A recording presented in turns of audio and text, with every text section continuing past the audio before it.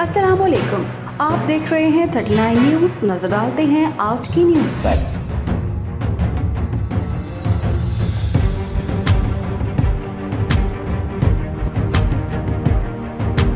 तफसीलात जानते हैं अपने नुमाइंद से। जी बिल्कुल। शेखुपुरा सूबाई वज़ीर कुदरती आफात पंजाब मियाँ खालिद महमूद और डिप्टी कमिश्नर शेखुपुरा राना शकील असलम की सदारत में ग्रीन क्लीन प्रोग्राम के सिलसिला में एक अजलास मनद हुआ। अजलास में शहर को खूबसूरत बनाने के लिए तमाम पार्कों में रात के वक्त वाक करने वालों के लिए लाइट्स का हंगामी बुनियादों पर काम जारी करने की हदायत की गई। अजलास से खिताब करते हुए डिप्टी कमिश्नर शेखुपुरा का कहना था, किसी भी सनतकार को तंग नहीं किया जाएगा। वो अपनी मर्ज़ी से शहर की खूबसूरती के लिए अपना भरपूर करदार अदा कर सकते हैं।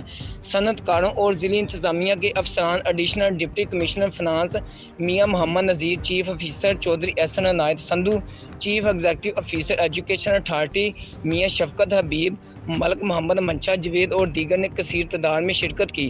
फैक्ट्रियों के मालकान ने शहर को खूबसूरत बनाने के लिए मकम्मल तावन का यकीन दिलाया। उन्होंने कहा कि हर पंद्रह दिन बाद इस सिलसिला में अजलास होगा, जिसमें ग्रीन क्लीन प्रोग्राम की कारकर्दगी को चेक किया जाएगा।